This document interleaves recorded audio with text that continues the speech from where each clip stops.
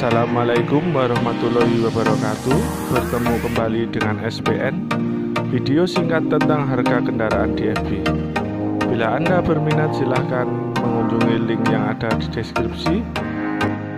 Terima kasih, semoga bermanfaat.